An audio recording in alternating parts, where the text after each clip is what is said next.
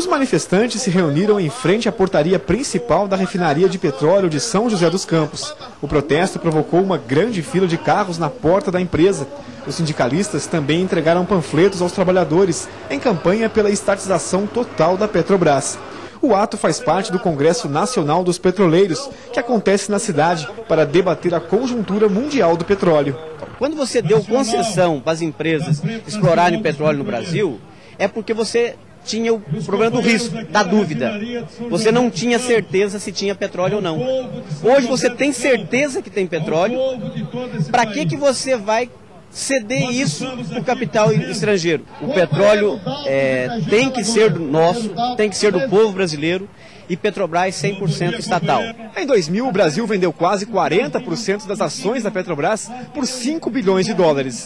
Os papéis se valorizaram e hoje valem cerca de 70 bilhões. Segundo o Sindicato dos Petroleiros, o Brasil é um dos países que menos obtém recursos com a exploração de suas riquezas. A nossa legislação de imposto, ela foi colocada como se fosse uma coisa muito difícil tirar petróleo. Basta explorar que o petróleo está lá.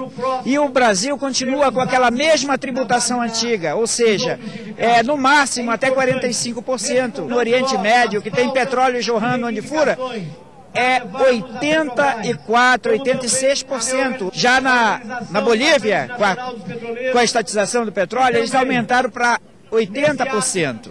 E no Brasil, nós continuamos com essa coisa pífia de retorno para a sociedade. O modelo de exploração do pré-sal também será tema de discussão dos sindicalistas, que devem realizar outros eventos para debater o assunto na região. Nós estamos criando comitê em todas as regiões do país, inclusive em São José dos Campos vai ser criado um comitê, nós já fizemos alguns jornais já, é, informando sobre isso, já fizemos palestras em universidades, vamos estar é, fazendo um grupo para poder fazer essas, essas palestras para que a gente possa conscientizar a população. Para o povo brasileiro, você vai poder aplicar na saúde, na aposentadoria, é, educação. Você tem dinheiro para poder sanear tudo que tem problema.